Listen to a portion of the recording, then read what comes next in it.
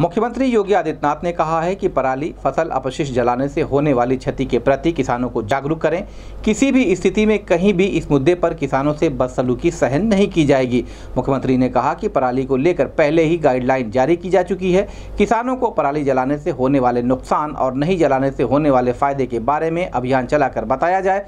उन्हें बताएँ कि पराली जलाना पर्यावरण के साथ आपकी ज़मीन की उर्वरा शक्ति के लिए भी ठीक नहीं है। सुप्रीम कोर्ट और एनजीटी नेशनल ग्रीन ट्राइब्यूनल ने पराली जलाने को दंडनीय अपराध घोषित किया है। किसान ऐसा करने की जगह उन योजनाओं का लाभ उठाएँ जिससे पराली को निस्तारित करने में उसे उपयोगी बनाया जा सकता है। सरकार ऐसे कृषि यंत्रों पर अनुदान भी दे रही है। कई जगह किसानों ने इन कृषि यंत्रों के ज़रिए पराली को कमाई का ज़रिया बनाया है। बाकी किसान भी इसे, इनसे सीख ले सकते हैं। किसानों कि ये सारी चीज़ें बताई जानी चाहिए। मालूम हो कि पराली के साथ फ़सल के लिए सर्वाधिक ज़रूरी पोषक तत्व तो नाइट्रोजन, फास्फोरस और पोटास, एनपीके के साथ अरबों की संख्या में भूमि के मित्र बैक्टीरिया और फफूंद भी जल जाता है। यही नहीं, बाद में भूसे की भी किल्लत बढ़ जाती है।